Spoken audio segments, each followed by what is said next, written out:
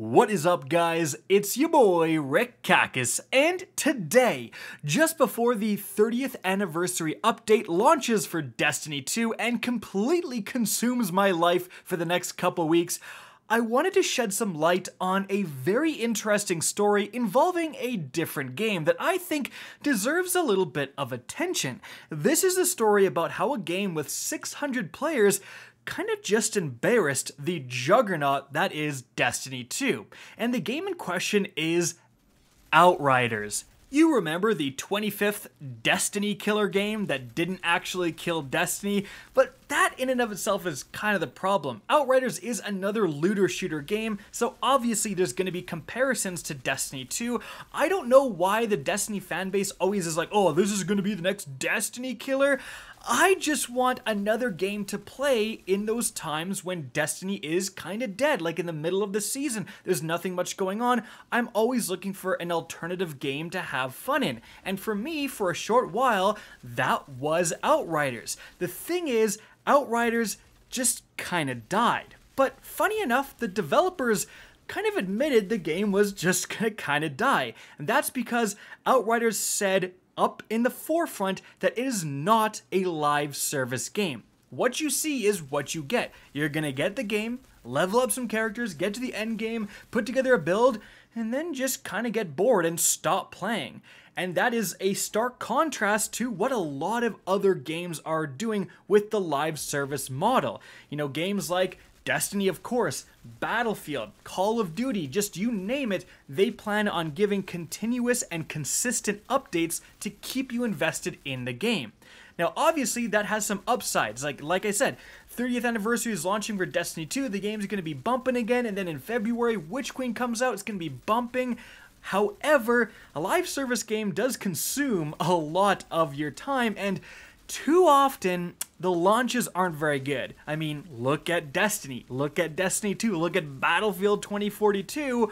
Often the content that's added with these live service updates, that's the content that should have been in the game to start. And so having a more traditional experience and in some ways a little bit more of a complete game. It had the full narrative experience, it had, you know, a separate endgame experience, it had a full-fledged loot system right off the bat. You know, it was a little bit of a brush of fresh air until again you got bored.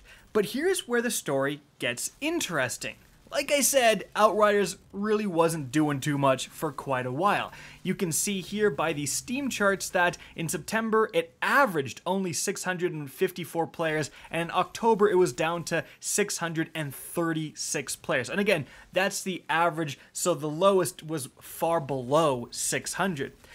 Then out of nowhere, in November, we see a three, almost 400% increase. The peak players goes from 1,000 to 10,000, a 10x increase. What the heck happened? Well, Outriders out of nowhere released a brand new free Endgame 2.0 update. And this update added quite a few things that we're going to talk about, but first and foremost, and the reason I'm saying it kind of embarrassed Destiny 2 is because this update added a brand new transmog system to Outriders.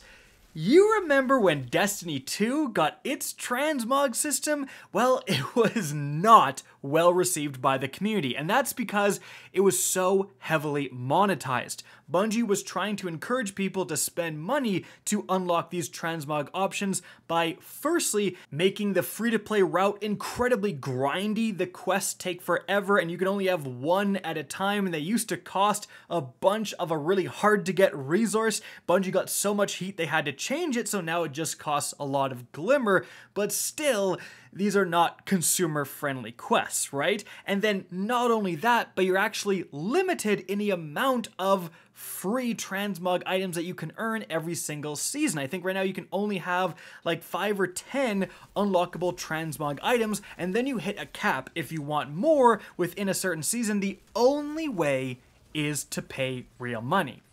And then Outriders comes along. Remember, this game is dead. 600 players average. And then they say, boom, new transmog system, no limits, no cost, no microtransactions whatsoever. And what I'm showing you in the background is their new transmog system, and it works exactly like that. If you unlock any piece of gear on any of your characters, then you can make any piece of gear look like that unlocked piece. So I can have all legendary items from a completely different character even. I can mix and match. I can just change whatever I want whenever I Dude, I was like honestly kind of weirded out by the system, especially when I tried to change an appearance of something because it just auto applied like instantly. It's so weird to do that without a big timer because you're spending all these resources, etc. It's just like, oh, yeah, just switch it. No, no big deal. It's like, of course it's no big deal because it costs you literally no resources to do so. And so this is actually pretty astonishing, and this is something that should be praised within the gaming community a game that, you know, you could argue needed the money a little bit more than Destiny came along and gave a much more consumer friendly transmog system, right? Why do we have to have such a monetized system? Or if there is monetizations, why does it have to be so grindy? Why does the limit have to be so small?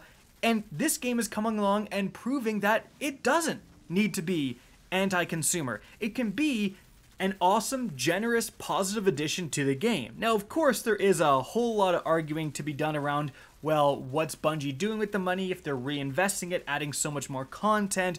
Yeah, you know, that's a fair point. Destiny 2 is significantly more content rich than Outriders. I don't think anyone can make that argument, uh, but it is, again, something worth pointing out and something worth praising when a company does go the ultra generous route. And the transmog system is really just a small part of what this update added. It also removed timers to the kind of endgame dungeons, which is fantastic, especially if you go back and beat them solo. Like I went back on my, you know, toxic rounds, Technomancer. Uh, the build was still pretty good. I was capable of soloing the max difficulty. I was pretty proud of myself. I was like, oh, dang, my build's still pretty good. Went into a multiplayer match, and then these other people were using absolutely cracked builds. I, I was doing like no damage compared to these guys. I was like, oh boy, I need to change my build, dude. And it really is a build in Outriders. Like you're seeing Destiny move more towards an actual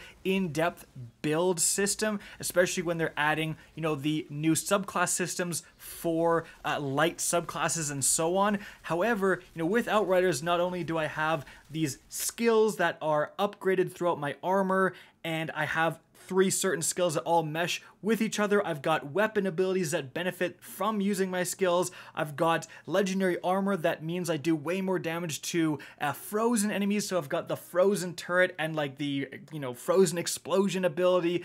And it is a really good feeling when all these things in your build come together and work out for a fantastically powerful experience.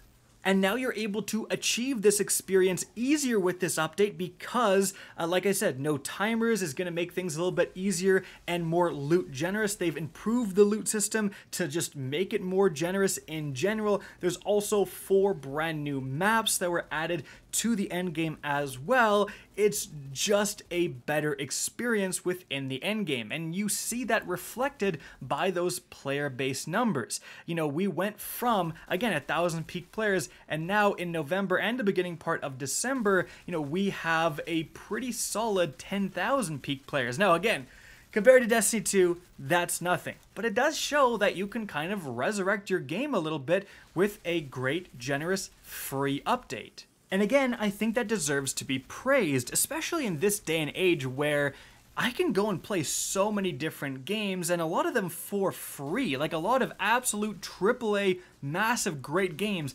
Apex Legends, Warzone, even, you know, Fortnite. I know it's memed on, but still, it's a huge game. All these games are completely free. Destiny 2 is free. Outriders is free via Xbox Game Pass as well. Like, Game Pass is giving away a ton of games for free. So it's like if a game gets a little too greedy, if I don't want to pay for you know this big paid expansion or whatever, I can just move to a free game. And so it kind of begs the question, you know, is this the right move in certain scenarios? Would it make more sense? Bungie got in a lot of trouble recently for making people buy the deluxe edition of The Witch Queen to get two dungeons that were coming later in the year. So like a dungeon would be coming out in summer, you know, next year, and you have to have the deluxe edition of the Witch Queen to access it. And people are like, well, that doesn't make a lot of sense. Like, why can't I just, why doesn't it come with that paid season? So you have a paid season in the summer, you have to pay $10 for, and you also have to pay for the one that came out in February. It's, it's just a lot of monetization. And again, there's some arguments of like, okay, well, what if you just made this dungeon free? How many extra players would jump in and play it? How many people would convince their friends to get the game and try this new dungeon? How many people that weren't playing would hop back in the game to enjoy this new free dungeon, right?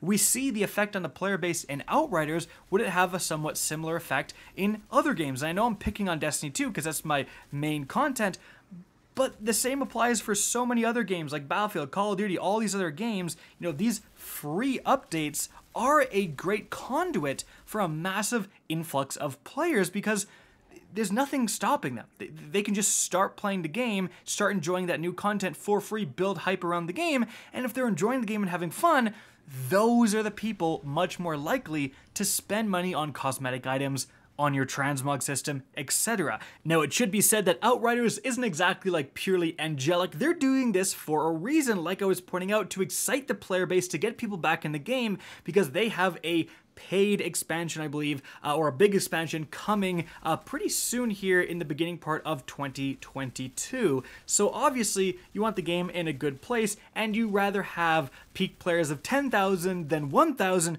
going into this expansion. So, in my opinion, just a really interesting story within the space of gaming. What do you guys think of this whole crazy shebang? Let me know in the comment section down below, and I hope you guys enjoyed this video, found it informative, and if you did, please remember to help me out by liking and especially sharing this video. If you guys want to keep up to date with the latest channel activity, be sure to follow me on Twitter at RickKackis. That's linked in the description down below. Again, I hope you enjoyed the video, and as always, have a good day.